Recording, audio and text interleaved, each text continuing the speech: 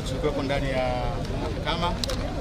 Jaji uh, Mheshimiwa Reinhard Masudi ametoa maamuzi shauri namba 23 lililokuwa linahoji uhalali wa Lipumba ndani ya chama cha wananchi CUF na kile ambacho msajili alikifanya cha kumtambua, kumrejesha ofisini.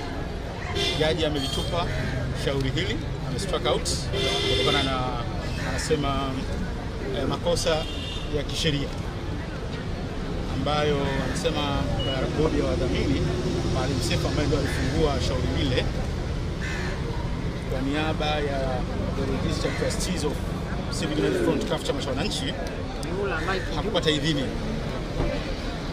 hakuwa na ushahidi kwamba kuna idhini ya bodi ya wadhamini iliyopelekea shauri kuletwa mahakamani.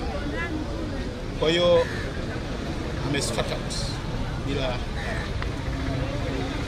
Viongozi wote wa taifa wako ofisini Magomeni, na nimepewa taarifa kwamba saa nane tutazungumza na waandishi wa habari.